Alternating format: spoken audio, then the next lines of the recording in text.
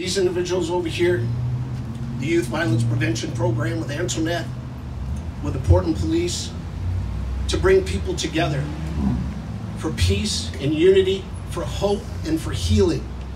How dare you come down to the place that we have been coming for years to try to do that, to try to bring peace, to try to bring hope, to try to deal with the trauma. How dare you come down here on Martin Luther King Jr. Avenue in an area that has predominantly been black for decades, has been gentrified and pushed out.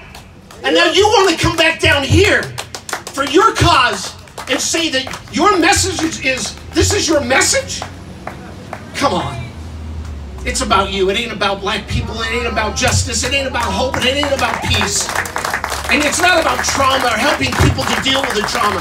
How dare you come down here? Stop. This is not a challenge.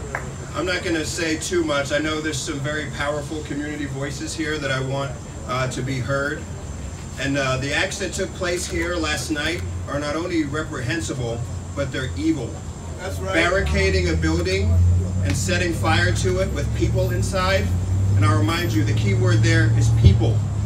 Whether it's here, whether it's at the Justice Center, there are people inside these buildings that we're trying to protect.